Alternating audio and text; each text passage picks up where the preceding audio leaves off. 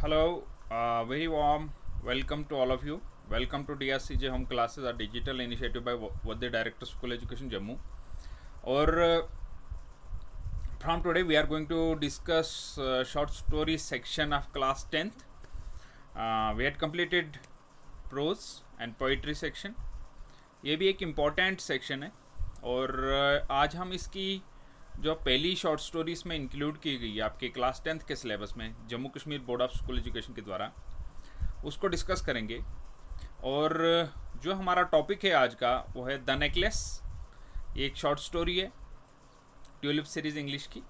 और, इसको लिखा है गॉय डे माओ पेशेंट ने जो कि एक फ्रेंच राइटर हैं। और, ये शॉर्ट स्टोरी जो है, वो अपनी कंट्री के जो कुछ कैरेक्टर्स इसमें लिए गए हैं, उसी कंट्री से लिए गए हैं। तो मैं कोशिश करूँगा कि आपको खूबसूरती से इसमें इन्वॉल्व किया जाए, ताकि आप कभी भी इस स्टोरी और इसके कैरेक्टर्स को कभी ना भूलें। इसमें जो मेन कैरेक्टर्स इसमें रखे गए हैं, एक है Loisel is the little clerk in the department of education में एक छोटा कलक छोटा कलक यहाँ पे ये मतलब नहीं है कि कद में छोटा है, लेकिन इसकी पोस्ट बहुत छोटी है। मेटिल्डा लोइसल ये वाइफ है लोइसल की। और मैम जीन फ्रस्टर क्योंकि ये फ्रेंच नाम है तो हमें प्रोनाउंस करने में थोड़ी दिक्कत होती है। ये फ्रस्टर का भी, इसका भी एक मेन लीड रोल है इस प्ले में। तीन यही मेन करेक्टर हैं इसमें। और ये जो है फ्रेस्टर ये इसकी वाइफ जो है मैथिल्डा लॉइस लॉइसल की क्लोज फ्रेंड है। अब ये जो मटिल्डा लॉइसल है, ये कैसी है? She was one of these pretty young ladies born as if through an error of destiny into a family of clerks, she had no dowry, no hopes, no means of becoming known, loved, and married by a man either rich or distinguished. And she allowed herself to marry a petty clerk in the office of the Board of Education. She was simple, but she was unhappy. अब ये बहुत ही खूबसूरत औरत की कहानी है लइसल Matilda लइसल की कहानी है जो खूबसूरत है लेकिन इसकी बदकिस्मती ये कि एक छोटे परिवार में पैदा हुई है और उसके ऊपर एक और मिसफॉर्चून ये है कि इसके ख्वाब बहुत बड़े बड़े हैं। ये नहीं चाहती थी कि एक गरीब घर में रहे, वो एक बहुत अमीर सपने देखती रहती थी, अपने आप को परियों की तरह दिखती थी। तो इसकी शादी एक गरीब, छोटे से मुलाजिम के साथ, छोटे से एम्प्लॉय के साथ हो जाती है। She suffered incessantly feeling herself born of all delicacies and luxuries. She suffered from the poetry of her apartment. जो उसका अपार्टमेंट है, उससे भी बड़ी तंग आई जो लग्जरी लाइफ है, वो सब कुछ कुछ भी नहीं है the shabby walls and the worn chairs all these things tortured and angered her जो ये वॉल्स हैं, उसकी दीवारें और ये जो चेयर पुरानी कुर्सियाँ हैं, ये सब उसको बड़ा गुस्सा आता है सबको देख कर क्योंकि उसके सपने बहुत ज़्यादा बोर ओवर एम्बिशियस आप कह सकते हैं ये। मेटेल डालो इसलिए। When she seated herself for dinner opposite her husband who covered the tureen with a delighted air air saying oh the good pot pie I know nothing better than that she would think of elegant dinners of shining silver. She thought of exquisite food served in marvelous dishes. She had neither frocks nor jewels, nothing, and she loved only those things. तो उसके husband जब शाम को बैठते हैं उसके साथ खाना खाने के लिए तो बहुत खुश होते हैं इसके हस्बैंड तो लेकिन ये उसमें बिल्कुल भी खुश नहीं है ये चांदी के बर्तनों में खाना खाना चाहती है और इसके सपने बहुत ज़्यादा हैं और इसके पास ना फ्रॉक्स हैं, ना जीवल्स हैं, कुछ भी नहीं है और इससे इसको इन सबसे बहुत ज़्यादा हमदर्दी है जो इसके पास नहीं है उससे इसको बहुत ज़्यादा हमदर्दी है अब इसकी एक फ्रेंड भी है she had a rich friend of school में at the convent who she did not like to visit. She suffered so much when she returned. She wept for whole days for despair and disappointment. इसके ऊपर एक और problem क्या है कि इसकी एक फ्रेंड है जैसे हमने बोला था कि एक और करेक्टर है इसमें फ्रस्टर का। तो ये इसकी फ्रेंड है लेकिन इस ये एक अमीर है। जब भी ये इसके पास जाती है तो बड़ी तकलीफ़ में रहती है पूरे दिन रोती रहती है क्योंकि इसको इसका सपना था अमीर बनना लेकिन ये गरीब की ज़िंदगी जी रही है। और इस ये इसके पास इसलिए नहीं जाती कि अपने आप को बड़ा बहुत ही नीचा समझ लेती है वहाँ पे बड़ा इन्फ्रियरिटी कम्प्लेक्स इसके अंदर आ जाता है। तो ये भी बहुत आ, बुरा कॉम्प्लेक्स इंसान के अंदर नहीं आना चाहिए। तो इसका हस्बैंड क्योंकि ये रोज़ टीज़ करती रहती है अपनी गरीबी के बारे में तो एक दिन हस्बैंड इसके पास एक ऑफ़र लेके आता है। One evening her husband came with an execute air exultant air और had an offer had an invitation उसको एक इनविटेशन मिलता है, जो अपना बॉस होता है, उसका हेड होता है डिपार्टमेंट ऑफ़ एजुकेशन का। तो वो उसके लिए एक ऑफ़र देता है कि एक पार्टी है और वहाँ पर इसको दावत देती है। What you want to be to do with this लेकिन जब ये ऑफ़र इसको इसको लगता है कि ये मेटेला बहुत खुश हो जाएगी, लेकिन यहाँ पे उल्टा ही हो जाता है कि लॉइसल जो है, ये खुश होने के बजाय बड़ी दुखी होती है, क्योंकि इसको लगता है कि मैं उधर जाने के लायक नहीं हूँ।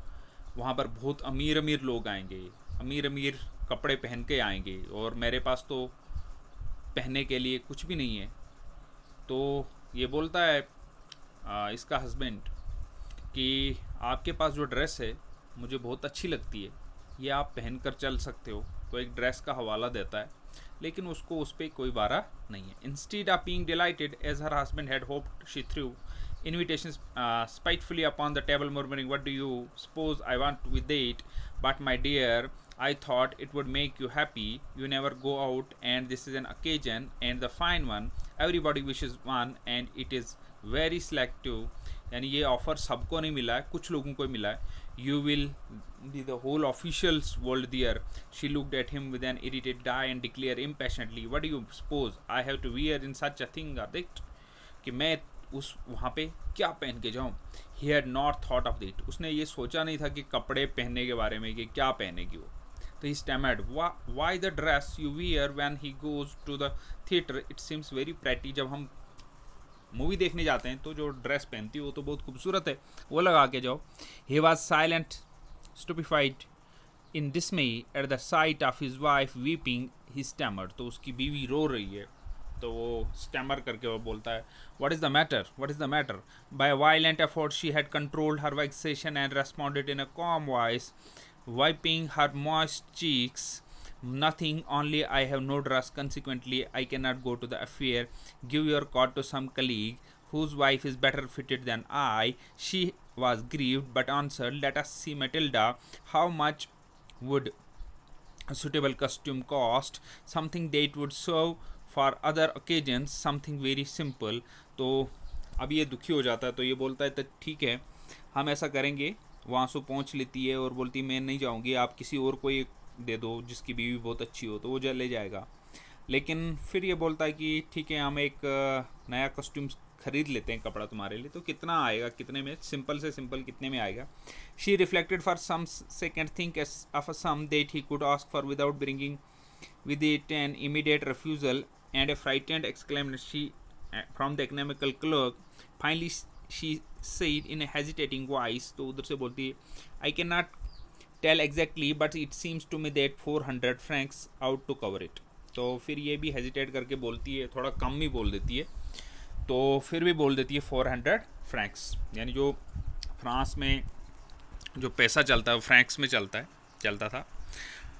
He turn a little pale for he had save just this sum to buy a gun तो पूरा वो पीला पड़ जाता है क्योंकि उसने भी ये एक ख्वाब रखा था कि वो एक शिकार पे जाए लेकिन इतना पैसा बचा के रखा था तो इतना पैसा इसके गाउन के लिए फिराक के लिए what he might be able join some hunting parties in next summer with some friends who went to shoot logs on Sunday. Nevertheless, he answered, Very well, I will give you 400 francs, but try to have a pretty dress.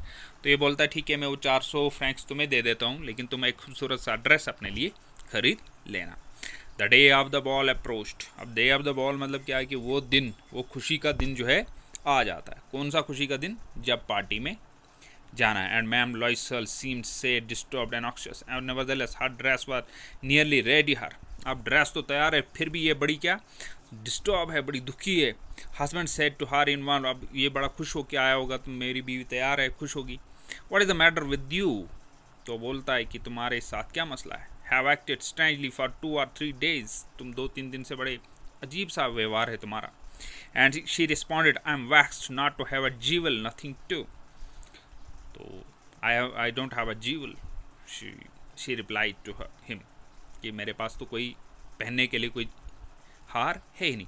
Adorn myself with I shall have such poverty stricken look I would prefer not to go to this party तो इतना करके वो बोलती है कि मेरा look जो है पूरी ख़राब हो जाएगी गाउन की मैं पार्टी में नहीं जाऊँगी। He replied you can wear some natural flowers in the season they look very chic तो बोलता है कि आजकल फूल शूल निकलते हैं तो फूल पहन लो, कुछ बहुत अच्छे लगते हैं वो। She was not convince no she replied there is nothing more humiliating than to have a shabby air in the midst of rich women तो बोलती है कि बाकी लोगें बाकी लोगों की औरतें जो होंगी, बड़ी अच्छे अच्छे कपड़े पहन के गाउन है डायमंड्स पहन के होंगी तो फूल पहन के जाऊँगी तो बहुत अच्छा नहीं लगेगा। Then her husband cried how stupid we are go and find your friend ma'am Forestier and ask her to lend you her jewels तो उसके हस्बैंड के पास एक आइडिया आता है। बोलता है जो परेशान होता है तो फिर बोलता अपने आप से कि हम कितने बुद्धू हैं। तू जाना अपने दोस्त मैम फ्रेस्टर के पास, उनसे कुछ घेने ले लो। पहनने के लिए बाद में वापस कर देना। She आटेड cry joy I it is true she said I had not thought of that तो भी खुश हो जाती, बोलती हाँ ये सच है। मैंने इसके बारे में सोचा नहीं था। The next day she took herself to her friend's house related to story of distress ma'am first went to her closest took out a large jewel case brought it open that and said choose my dear she saw the first some bracelets then a collar of pearl pearls then a Venetian cross of gold and jewels, admirable workmanship. She tried the jewels before the glass, hesitated, but could neither decide to take them or nor leave them. Then she asked, "Have some nothing? Have some nothing more? Have you nothing more?" तो उसने बहुत सारा गहना उसको दिखाया अलग अलग colours के पीरल्स के अलग अलग मेटल्स के उसको दिखाए लेकिन ये हेजिटेटिंग वाइस में फिर भी बोलती हैं इनको पसंद नहीं आ रहा है बोल रही है कि क्या तुम्हें और कुछ नहीं है why yes look for yourself. I do not know what will please you. Suddenly, she discovered in a black stand box a superb necklace of diamonds. Uh, her hands trembled as she took it out. She placed it out, uh, about her throat against her dress. It was ascetic.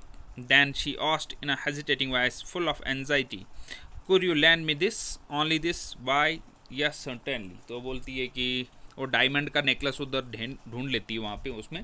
तो फिर ये hesitating vice में बोलती क्या तुम मुझे ये दोगी दो दिन पहनने के लिए? तो बोलती हाँ बिल्कुल तुम ले जा सकती हो तो। जब ये पार्टी में गई ना तो अभी देखिए स्टोरी शुरू होती है यहाँ पे। तो जब ये पार्टी में गई, पूरी खूबसूरत लग रही थी, गाउन लगा के, पूरा डायमंड नेकलेस लगा के तो पूरी रात ये डांस करती रही। पूरे रात सभी के अट्रैक्शन यानी place of centre of attraction बन के रह गई। सभी लोग इसके साथ डांस करना चाहते थे। सुबह तीन बजे तक इसने वहाँ पे डांस किया और उसका हस्बैंड की नींद कर रहा था, क्योंकि उसको उतना मज़ा नहीं आ रहा था उस पार्टी में तो उसकी बीवी इंजॉय कर रही थी तो वो भी वहाँ पे बैठा हुआ था।